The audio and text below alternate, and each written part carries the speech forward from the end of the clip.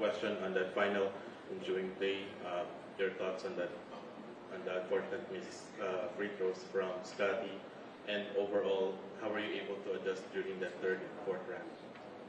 Well, like I told Scotty not to get down on himself, he wouldn't have gotten to the free throw if he didn't rebound it anyway. Siya rin naman ang kumuha ng rebound na yun, di ba? So, you know, th- those things happen. Uh, and Scotty is going to be a much better player from that. Uh, we, that's happened already before in our history. I'm sure you remember uh, those things in the past.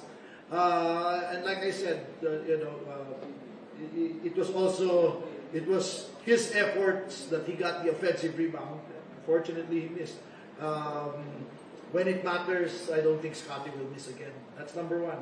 And uh, with the adjustments, we just tweaked some things in our defense uh, at halftime, and then also uh, uh, made a more intentional effort to counter what they were doing defensively.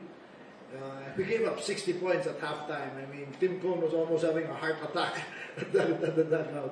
Uh, but we only gave up half of that in the second round. So, uh, you know, like I said, great adjustment.